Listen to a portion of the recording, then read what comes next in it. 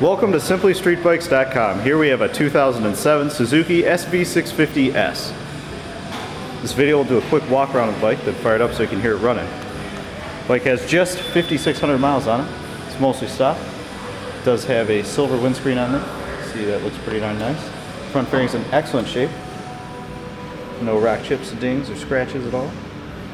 Front fender paint is also in great shape. Front tires still got plenty of tread on it.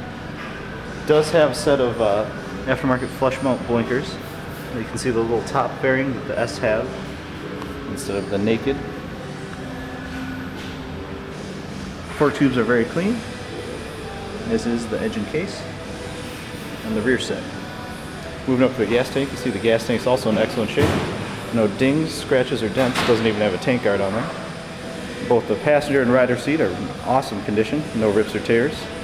Does have a Yoshimura exhaust. See what that sounds like in a minute here. Tail frame, great shape as well. Got the little Yosh sticker on there. Rear tire is getting down there a little bit. We are going to be replacing that. It's got the SV split tail light, very distinctive. Other side of the tail fairing, also very clean. Swing arm, no rash or tip marks. This bike has been lowered shorter rider. Kickstand's been cut and the forks have been dropped, so it's definitely been done properly.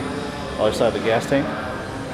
And the clutch side engine case, oil cooler and whatnot, also very clean.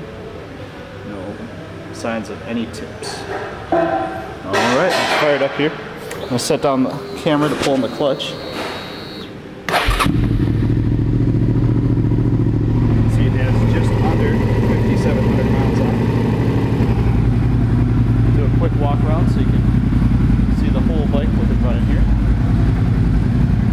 We'll see what this Yosh pipe sounds like.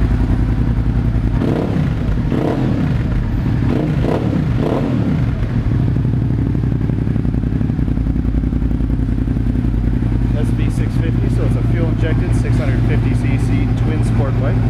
One more shot of the mileage. See, it does sound excellent. This bike will receive our full 24 point mechanical inspection, come with a 30 day 1,000 mile limited warranty, and a lifetime parts and labor discount. Thank you for visiting us here at simplystreetbikes.com.